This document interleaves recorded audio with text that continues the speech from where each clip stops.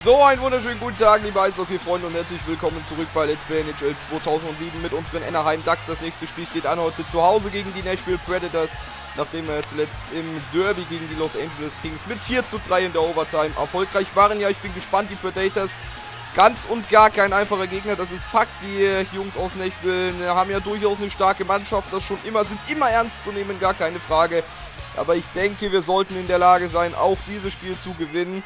In dieser Liga kann ja bekanntermaßen jeder jeden schlagen. Von daher bin ich optimistisch, dass wir hier am Ende die zwei Punkte vom Eis nehmen werden. Also auf geht's gegen die Predators aus Nashville. Es ist Montag und ich freue mich auf ein hoffentlich spannendes Duell. Ich hoffe ihr natürlich auch. Frisch von der Arbeit hier bin ich gekommen und da geht es doch gleich mal gut los hier mit einem Penalty gegen die Gäste. Carria muss auf die Strafbank, zwei Minuten für hoher Stock direkt vom Opening Face-Off weg und das ist eine richtige Entscheidung. Ja, wie gesagt, ich war gerade noch arbeiten und jetzt geht es schön ans Video. Also ich bin top motiviert hier. Wenn auch leicht angestrengt, aber naja, ihr wisst ja, wie das ist. Ja, aber naja, wir machen das Beste draus und da wäre es auch fast schon so weit gewesen, die Riesenchance, aber Pfosten oder Latte war es. Ich bin mir gar nicht so sicher, auf jeden Fall war da das Torgestell im Weg. Fast die Führung für unsere Ducks. Ah, das wäre natürlich der perfekte Auftakt gewesen, aber wir bleiben dran. Und aufgepasst, die Möglichkeit, McDonald, Doppelchance. Aber wir können sie nicht nutzen. Nächster Anlauf startet Temo Solani. Setzt sich dort ganz stark ins und Angreifer Solani scheitert. Aber bleibt dran, holt sich die Scheibe wieder. Richtige Druckphase hier zu Beginn.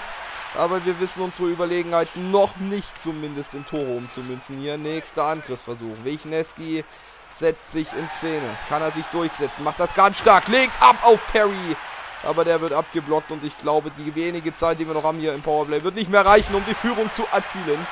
Zumindest nicht in Überzahl, aber wir schieben es wieder an. Nashville ist wieder vollzählig. Nächster Angriff unsererseits und da ist die Führung. Corey Perry. 1 zu 0 für unsere Ducks und ich glaube, das ist mehr als verdient. Der Start in dieses Spiel ganz klar ja, gut gelaufen für uns, denn unsere Ducks hier mit überlegener Spielführung, mit einer Chance nach der anderen hier zu Beginn und diese Führung nach nicht einmal sieben gespielten Minuten geht mehr als nur in Ordnung, also der perfekte Start in dieses Spiel sozusagen. Und jetzt liegt es an den Gästen aus Nashville, den Beweis zu erbringen, dass sie mehr drauf haben, aber ja, ich würde mich ehrlich gesagt auch drüber freuen, wenn die weiter hier so dankbar spielen. Jetzt gibt es aber erstmal die Strafe gegen uns und aufgepasst. Die Predators in der Offensive. Jetzt kommen dann dazwischen zwei Minuten Powerplay. Ne, ich will Strafe gegen Ryan Getzleff. Zwei Minuten für Behinderung hacken. Mal schauen, ob das die richtige Entscheidung ist, die der Schiri da gefällt hat. Ja, der Schläger ist oben. Kann man so entscheiden. Und dementsprechend nun natürlich die Gelegenheit für die Gäste aus Nashville hier im Powerplay zurückzuschlagen. Aber ich hoffe natürlich, dass sie das nicht tun werden. So, Chris Pronger an der Scheibe. Was macht er, unser Defensive Mann? So, alles gut. Todd Federer hat die Scheibe unter Kontrolle und probiert es ganz einfach mal. Warum denn nicht? Aber wirklich viel kommt dabei nicht raus. Ernest dazwischen. Carrier an der Scheibe. Und Federer und wir können uns erst einmal wieder befreien. Sieht gut aus. Er probiert es mal, aber Morrison im Kasten der Predators ist da. Carrier Aufgepasst, sein Pass auf Arnett. Gut gespielt von Nechville. Aber Shige ist da, unser Goalie, ganz aufmerksam. Und wieder die Predators mit Hartnell. Der auf Arnett. Der hat Platz ohne Ende. Und wieder unser guter Shigea. Aber der dann mit dem Fehler. Und Hartnell. Und Hartnell Ausgleich. Scott Hartnell, Powerplay-Tor. Ja, es hatte sich so ein klein wenig angedeutet, die Predators auf einmal mit einer Druckphase in Überzahl. Und jetzt wissen sie die Chance dann auch zu nutzen. Hartnell macht das natürlich auch ganz geschickt. Und da sieht unser Goalie dann am Ende alt aus. 1-1, Nashville ist zurück im Spiel. Aber was soll's, es geht weiter. Aber gleich die nächste Strafe gegen uns. Also was ist denn hier los? Abseits dann Powerplay für Nashville, Strafe gegen Todd Marshall, zwei Minuten für hoher Stock. Das können wir jetzt hier natürlich überhaupt nicht gut gebrauchen. So, Strafe Hä? Was war denn das jetzt hier wieder für ein Müll, den der Schiri da entschieden hat? Also, hm, ich wage mal zu bezweifeln. Ja. Ich glaube, das war mehr als offensichtlich, dass man das hier äh, ja, so nicht entscheiden kann. Also keine Ahnung, was das war. Fehlentscheidung vom Schiri. Und das wäre jetzt bitter, wenn es bestraft wird. Aber wir befreien uns. Bronger auf Pesson.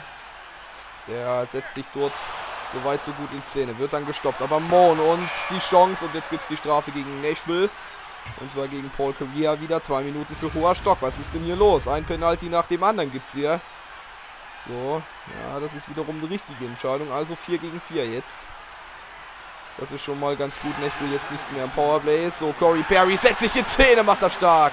Aber leider ist es nicht das Tor, aber jetzt ist er drin. Na bitte, Corey Perry. Zweiter Treffer für ihn heute. Ganz starke Einzelaktion. Zuvor noch gescheitert. Aber er setzt nach. Und dann mit dem Bauerntrick und Rückhandschuss erzielt er das 2 zu 1, die erneute Führung für unsere Ducks. Morrison zum zweiten Mal überwunden. Der Frust verständlich. Und unsere Ducks schlagen zurück. Sehr schön gemacht, dieses Tor von Corey Perry. Der ist gut unterwegs heute.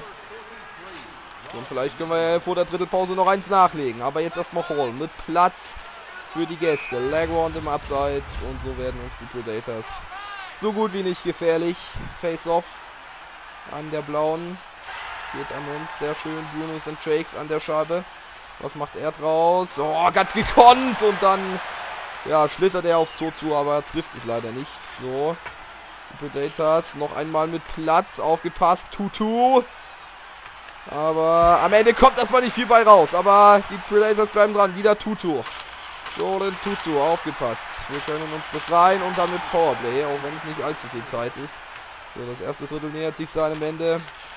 Aber das der Penner hat nochmal die Chance. Marschend im Nachsetzen, aber ohne Erfolg. Und dann ist Pause. Nach 20 Minuten steht es hier 2 zu 1. Unsere Ducks führen knapp, aber sicherlich nicht unverdient gegen Nashville. Ein unterhaltsames Spiel bis hierhin. Und ja, ich bin mal gespannt, wie es weitergeht. 40 Minuten haben wir noch vor der Brust. Also da ist noch einiges möglich, gar keine Frage. So, und wir haben noch ein paar Sekunden Powerplay, aber ich glaube, das wird wohl kaum reichen, um mir noch ein Tor nachzulegen in Überzahl. Aber wer weiß. 17 Sekunden noch, um genau zu sein. So, aufgepasst, da ist Timo Solani. Er verliert die Scheibe gleich erst einmal. Niedermeier. Und das Powerplay ist wieder beendet. Nashville wieder vollzählig. Und es geht also weiter mit 5 gegen 5. So, Federer hat die Chance. Sehr gut gemacht. Aber Morrison ist auf der Hut der Goalie der Predators. Ganz aufmerksam. So. Oh, aufgepasst. Die Scheibe erst einmal wieder weg. Trevor. Auf Hall. Auf Legrand. Da gibt sich Platz für die Gäste. Aber Legrand wird wunderbar abgeräumt unsererseits. Sehr schön gemacht. So, Corey Perry, unser zwei Tore Mann heute, der ist richtig stark unterwegs und hat die Übersicht für Chris Kunitz und er macht das 3 zu 1. Führung ausgebaut, zwei Tore Vorsprung nun für unsere Ducks und wunderbar inszeniert. Corey Perry mit einem klasse Pass und Chris Kunitz eiskalt als Vollstrecker. 3 zu 1 nun also der Vorsprung für unsere Ducks. Sehr schön gemacht das Ganze. Ganz wichtig natürlich auch dieser Treffer, gar keine Frage.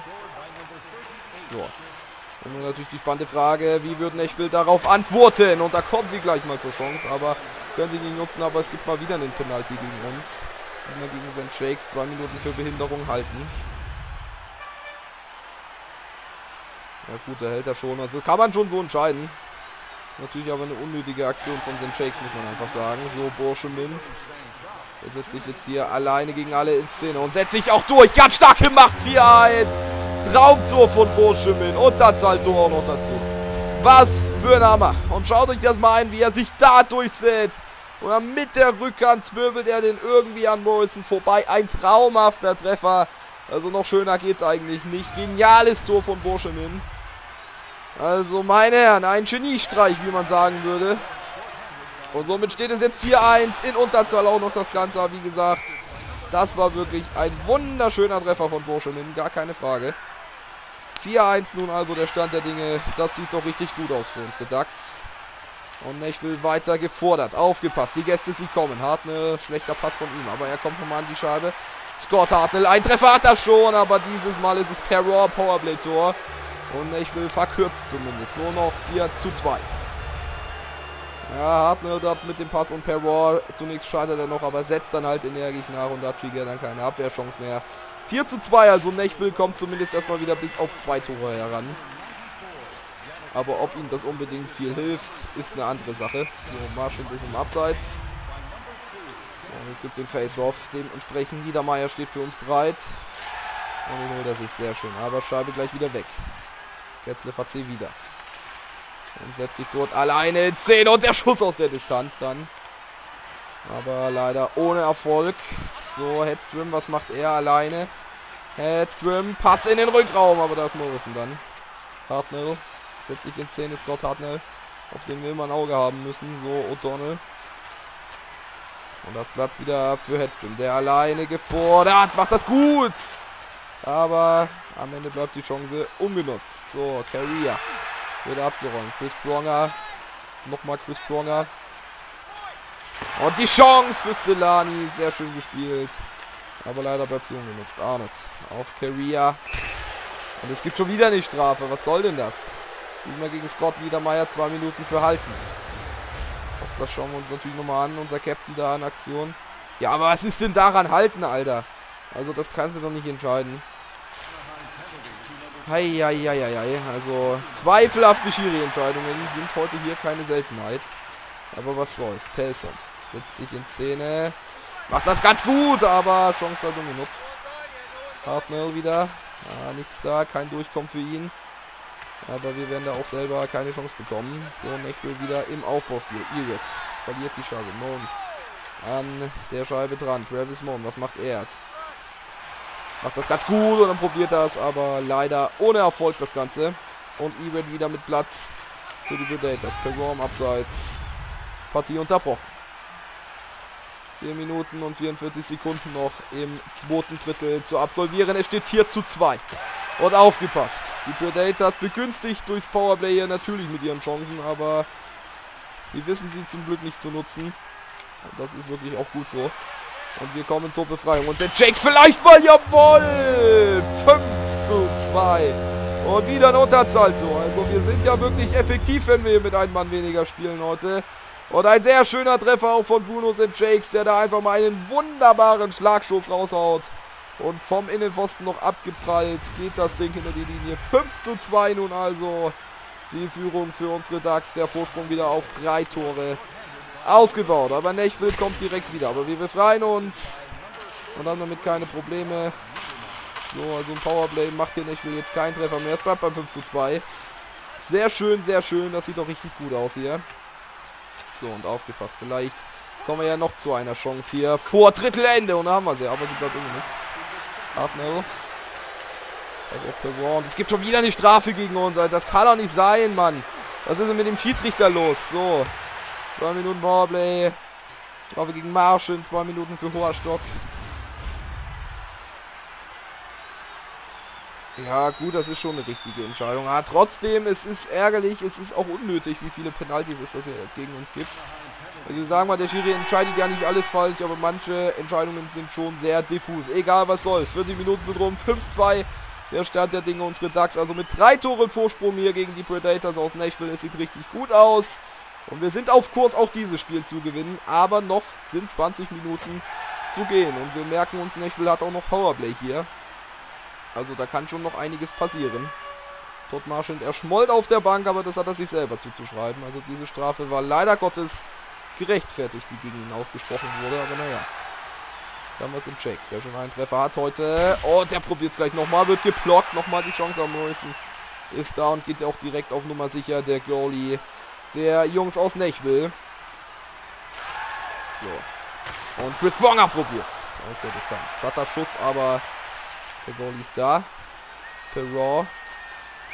Aufgepasst. Die Predators immer noch in der Offensive. Hartnell hat die Chance. Niedermeyer. Pass auf Person.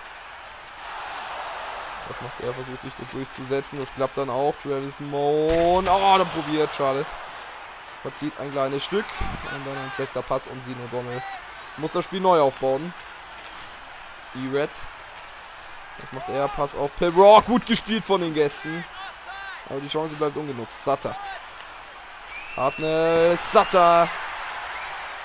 Und Ryan Getzleff. Spielaufbau unserer DAX. Wir haben die Unterzahlsituation gleich überstanden und kommen nochmal zur Chance da. Getzleff.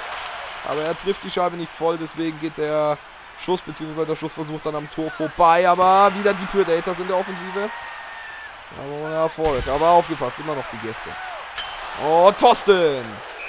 Ja, sie werden immer gefährlicher und es gibt schon wieder eine Strafe gegen uns. Alter, hör doch auf. Wieder Todd Marshall. Zwei Minuten Bewinderung halten. Mann, was ist denn das?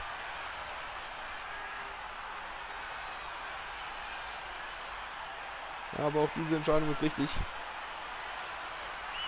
Das kann ja echt nicht sein. So, sind Shakes an der Scheibe. Setzt sich da ein Szene Bruno sind Shakes, aber naja, was soll ich sagen mal so, wir sind ja so gesehen in Unterzahl teilweise noch gefährlicher, als wenn wir zu fünft spielen hier. Zeigt ja die Statistik, wir haben ja schon das eine oder andere Unterzahltor erzielt heute. Das ist also gar nicht mal so schlimm am Ende. So, sind Shakes befreit uns da erstmal, sehr gut gemacht.